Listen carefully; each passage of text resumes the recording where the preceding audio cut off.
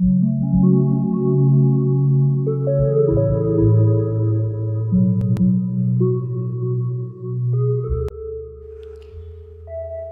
ഞാൻ ചെയ്യുന്നത് ബ്രേക്ക്ഫാസ്റ്റിനൊക്കെ പറ്റിയ നല്ലൊരു എളുപ്പത്തിൽ ചെയ്യാൻ പറ്റുന്ന ഒരു സ്നാക്സാണ് അപ്പോൾ അതിന് വേണ്ടി ഫില്ലിങ് റെഡിയാക്കാം. അതിന് ഒരു സവാളയും ഒരു പച്ചമുളകും ഒരു ചെറിയ തക്കാളിയും കൂടി അരിഞ്ഞിട്ട് വഴറ്റിയെടുക്കാം.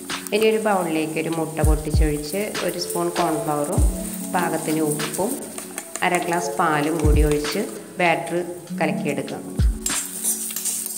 ഇനി ഈ വഴറ്റിയ സവാളയിലേക്ക് നമുക്ക് അര സ്പൂൺ മഞ്ഞൾപ്പൊടിയും ഒരു സ്പൂൺ മുളക് പൊടിയും അര സ്പൂൺ ഗരം മസാലപ്പൊടിയും ചേർത്ത് ഇളക്കിയെടുക്കാം. പാകത്തിനുള്ള ഉപ്പും കൂടി ചേർക്കാം. ഈ ബ്രെഡ് എടുത്തിട്ട് ഇതുപോലെ പരുത്തിയെടുക്കണം അതിന്റെ ബ്രെഡിന്റെ അരികെല്ലാം കളഞ്ഞ് ഇതുപോലെ പരുത്തിയെടുക്കണം അരിക് ഭാഗം നന്നായി പരുത്തണം.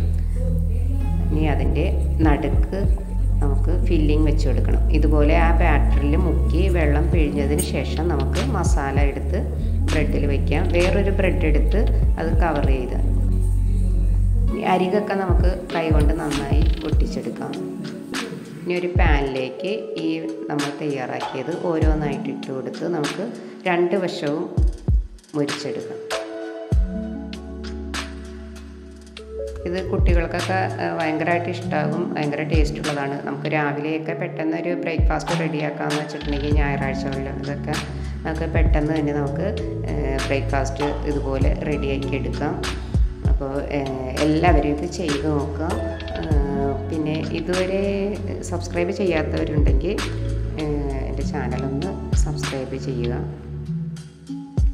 ഇനി വീണ്ടും അടുത്ത ദിവസം ഞാൻ മറ്റൊരു സ്നാക്സിന്റെ വീഡിയോ ആയിട്ട് വരാം. അപ്പോൾ ഇത് എല്ലാവർക്കും ഇഷ്ടപ്പെട്ടു